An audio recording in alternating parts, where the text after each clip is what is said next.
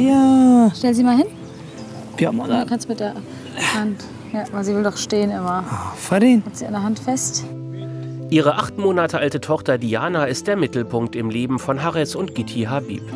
Die drei genießen die Freiheit, wann immer sie wollen, rausgehen und ungezwungen miteinander lachen und spielen zu können. Umso trauriger macht Gitti und Hares der Blick auf die aktuelle Situation in ihrem Geburtsland Afghanistan. Die Möglichkeit zu haben, wie wir jetzt einfach auf den Spielplatz rauszugehen, total frei und ich sag mal unbekümmert äh, auf dem Spielplatz Zeit zu verbringen als Familie. Können sie nicht, haben sie auch nicht und ähm, sie sind auch eingesperrt, das muss man genauso sagen. Und umso größer ist es ja immer wieder für uns, äh, das zu verstehen, was für ein gutes Leben wir als Afghanen hier in Deutschland oder im Ausland haben, dass wir in Freiheit leben dürfen, in demokratischen Zügen. Und ja, das ist da aktuell äh, gar nicht mehr gegeben. Auch seine Tochter Diana soll so aufwachsen. Aus diesem Grund wollen sie nicht tatenlos zusehen, wie die Taliban Afghanistan zugrunde richten, sondern helfen. Hares ist froh, dass seine Frau ganz genauso denkt wie er. Ihr liegt vor allem das Schicksal der Frauen in Afghanistan am Herzen. Dass die Frauen jetzt halt voll verschleiert sein müssen, das ist eigentlich die Pflicht in Afghanistan.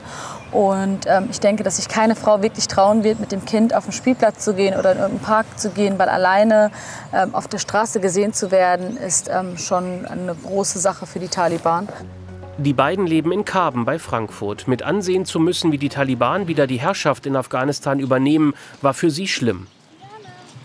Ich, irgendwie, ich war total paralysiert, ich war unter Schock. Ich so, äh, wie, die sind jetzt schon komplett wieder da. Man wusste ja schon vorher, dass die Taliban ja nie richtig weg war, aber halt in äußeren Provinzen waren.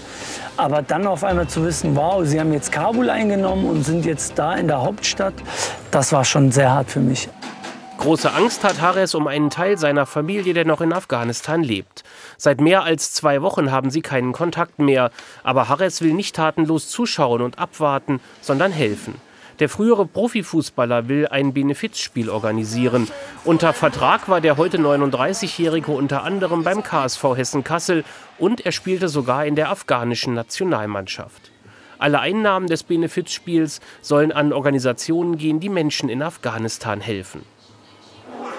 Am 8. September fand das große Spiel im Kasseler Aue-Stadion statt. Unter dem Motto Pray for Afghanistan spielten die Afghanen in Grün gegen die All-Stars von Hessen-Kassel. Am Ende gewannen die Afghanen 7 zu 4, aber das Ergebnis war nur Nebensache. Schließlich ging es um viel mehr als Fußball. Ich denke, wir haben echt ein gutes Zeichen gesetzt als Afghanen, gemeinsam mit dem KSO Hessen-Kassel, mit Nordhessen, dass wir Solidarität gezeigt haben. Und mehr kann man sich nicht wünschen. Insgesamt sind an diesem Abend rund 13.000 Euro zusammengekommen. Ein Teil des Geldes soll an das Patenschaftsnetzwerk Afghanische Ortskräfte gehen. Der Verein hilft Afghanen, die für die deutschen Truppen tätig waren und deshalb fliehen müssen. Wegen der Corona-Situation findet die Scheckübergabe virtuell statt. Ah, es ist, meine Kamera ist ein bisschen schlecht. Auf jeden Fall ist es eine Summe von 5000 Euro, die wir Ihnen äh, äh, mitgeben dürfen, die wir Ihnen überreichen dürfen. Ganz, ganz herzlichen Dank. Äh, denn äh, das, was wir im Augenblick schwerpunktmäßig machen, nämlich Rettungswege überhaupt zu ermitteln, äh, ist ja nicht das Einzige, was wir tun. Im Mhm. Gegenteil. Denn danach beginnt erst wirklich unsere echte Arbeit hier in Deutschland mit den afghanischen Ortskräften, dass sie sich hier vernünftig integrieren können. Denn sie, ob man das nun wahrhaben möchte oder nicht, vermutlich ist es so, dass sie sich hier eine neue zweite Heimat aufbauen müssen. Ja, wir drücken Ihnen die Daumen, wünschen Ihnen viel Kraft und Energie und dass da gute Sachen bei rauskommen. Ja, wir, tschüss, vielen Dank. Die restlichen 8000 Euro gehen an zwei Vereine, die sich um geflüchtete Frauen und Kinder aus Afghanistan kümmern.